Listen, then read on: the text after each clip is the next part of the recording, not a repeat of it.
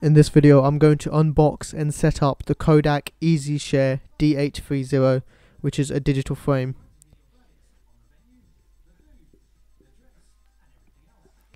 So here it is. Kodak EasyShare D830 digital frame.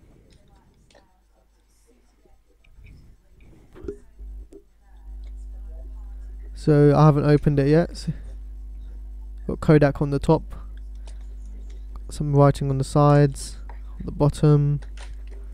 The back we got some information. It can hold 4,000 images, which is pretty good actually. So it's got 512 megabytes of storage inside, which doesn't sound like a lot, but it can hold 4,000 pictures, which is more than enough. So this is 8 inch, as you can see on the bottom, it says 8 inch. We'll go ahead and cut it open. This little tape on the side and we can go and get inside this box.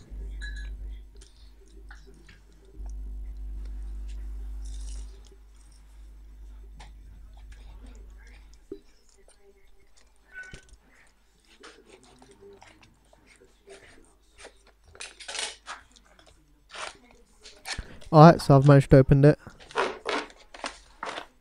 Let's go ahead and pull it out.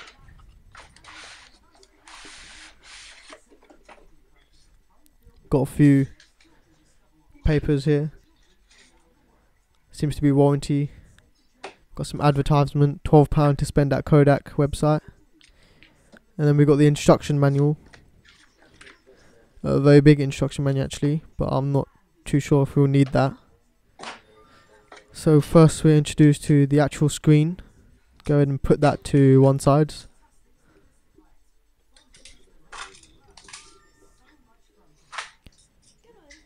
Um, we got this triangle thing. I'm pretty sure this is going to be the stand for the back. You got a plug. This is like a travel plug, so you can get different adapters for it. So here we got the EU adapter. But I'm not going to need that one, I'm going to need this UK one here.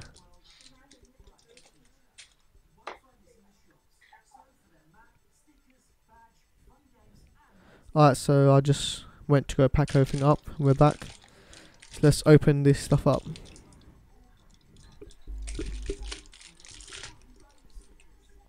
So just grab your cable and slot in the plug which suits your country.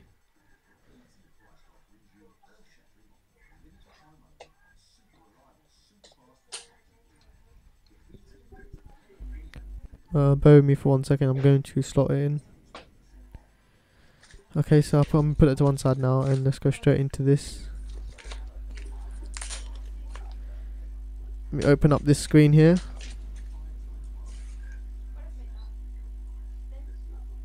Okay, so here it is. Uh, let me try and gonna have to unclip this frame somehow. Um, it's actually quite fiddly to unclip.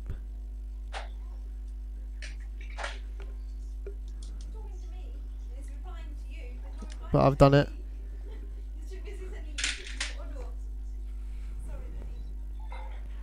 Okay, so here it is. It looks pretty small, but it's actually 8 inch. You can peel off that sticker at the bottom, but I'm going to keep it. So we've got a few buttons on the top. We've got the on and off button, obviously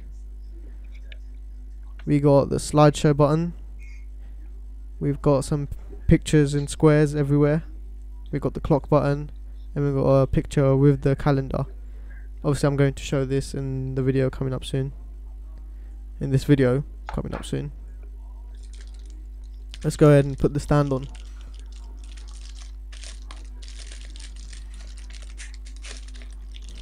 So it's it's got a bit of weight to it but it's, it's not too much.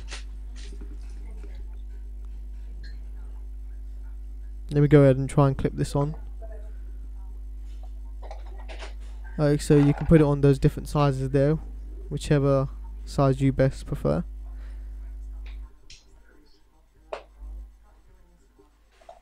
Okay, so I've put it on the third one from the top. So I'm gonna actually go ahead and grab the cables and plug it in soon.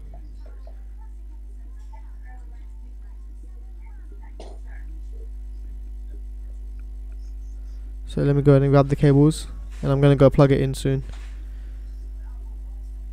So as you can see it goes to the bottom. So we'll be right back. Alright so I've plugged it in on the bottom. And go ahead and hold the on button for like two seconds. And all these lights turn up on the side. Those are touch buttons.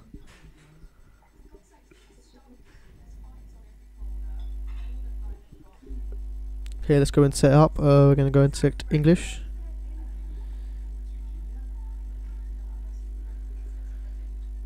so the speed is it's reasonable. It's not very fast I have to admit but it is reasonable.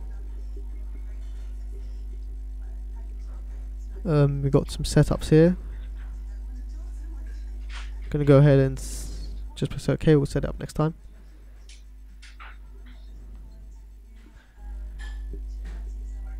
So this is it.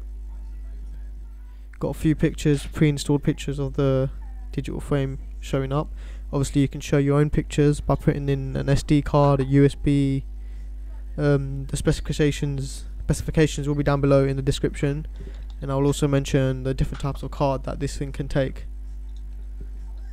So there's an example. So that's the clock with a picture of course. And the picture changes. That's the calendar with the picture. You've got various modes. This is a slideshow. So full picture of a slideshow so yeah this is pretty much it. It's really nice quality screen actually. And the viewing angles are actually reasonably good. So the resolution is like 480p but it certainly doesn't look like a 480p it looks like a real photo frame. And the thickness isn't actually too big either. So for the price of this it's like 20 pound. So I'd give it like an overall score of 9 out of 10